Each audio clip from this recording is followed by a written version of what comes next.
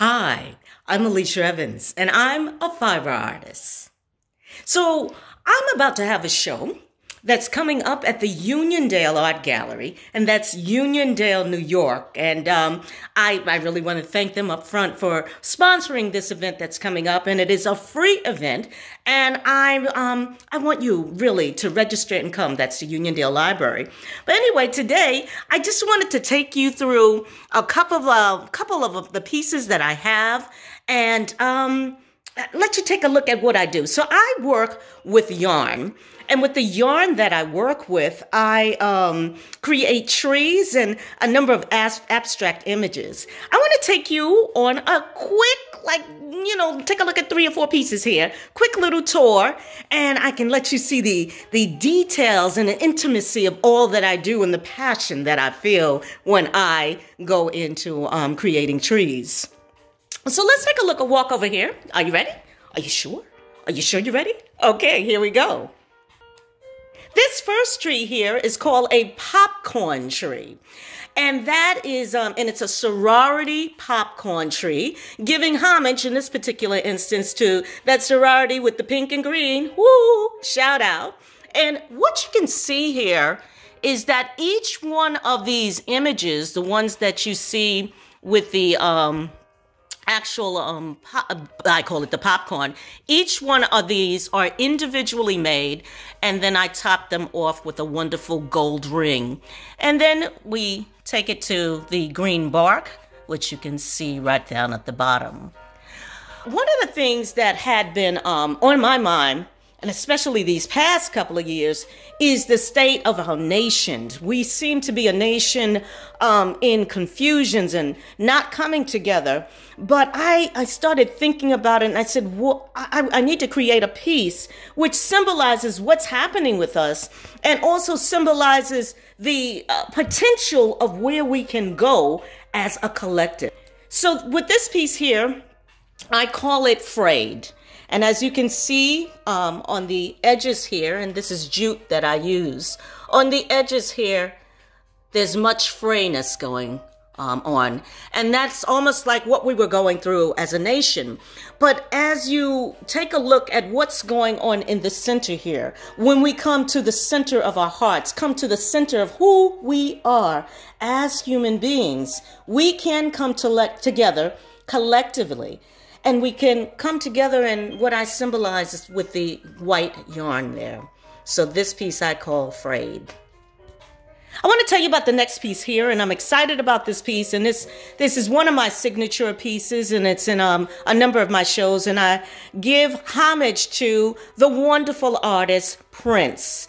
And so um, when he transitioned, I just was, oh, oh, I was so hurt along with so many other fans around. So this piece here is called Purple Reign. So if you take a look at the top portion here, and if you can see what's going on right up in there, this would be um, taking a look at Prince from a side um, view, a profile kind of view. And what would we have here would be, you know, his face going around. So like that. And then um, when we take a look and pull back a little further here would be just a semblance of his particular symbol. So I call this purple reign and that's R-E-I-G-N. The other pieces that I do, I do a whole piece, um, series of uh, uh, pieces called um, Racers and it's part of the Racers series. So uh, the next one I want to share with you is what I call the green haired racer. And I love her. She is absolutely wonderful. Her hair is blowing in the wind. She's having a good time. She's going uphill and she's got her wheels are going and maybe these wheels back here are giving her some extra energy. What I uh, what is interesting about my pieces, all of my pieces, any um, piece is made with one single piece of yarn. So all of this is one, one single piece of yarn to create the imagery that you see here. I'm also about to go into um, creating masks. And here's a piece that's still in its work. And I'll share that with you. All right, and this is a mask here. And it's you know I, I keep thinking about the mask um, that they found uh, in cave walls or the masks that come off of the uh, great uh, uh continent of Africa. And uh, this is what inspired me on that. So you can see the eyes that are right here. And then we have the mouth here. And then I'm still working on how I'm going to finish up this mouth. But um, as I had mentioned, um, this is done with one singular piece of yarn. So when you see this light green here, um, this is one piece of yarn. Uh, and it's uh, when I make it to the darker green, that is not, um, that's still on that one single piece of yarn. And I find what's really meditative about my work is that you can sit and try to figure out where the beginning is, if, if you can possibly do that. One of my first trees, which I keep in my bedroom, um, I use it as a meditative piece, trying to figure out, you know, where did I started, where did it end? Does it go up and around here? But then there's a, it stops and goes. Oh, but it's just so much fun to do. I want to share with you a last piece here before we uh, call. Are you ready? So this is another piece that's still in the works, and it may very well be ready for the um, for the Uniondale show uh, Union, that's Uniondale, New York, Uniondale um, Library. And I want to thank Uniondale once again for, for having me and hosting me for this. This is a free event and it's coming up soon. All right, so this piece here doesn't have a name. I'm still working on it.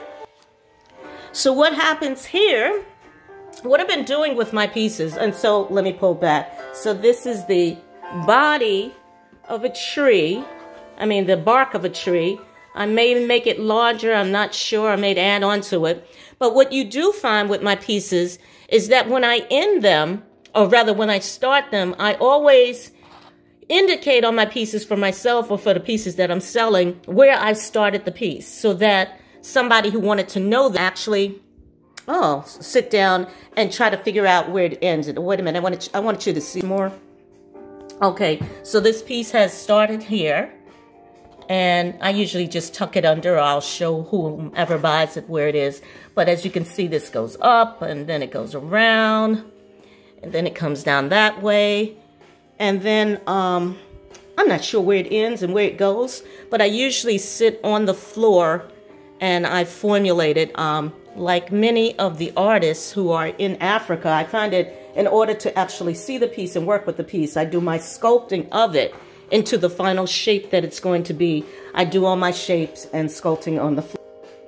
So loves, I hope you had a good time. I hope to see